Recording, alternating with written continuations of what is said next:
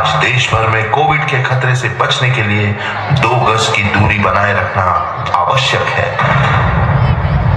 है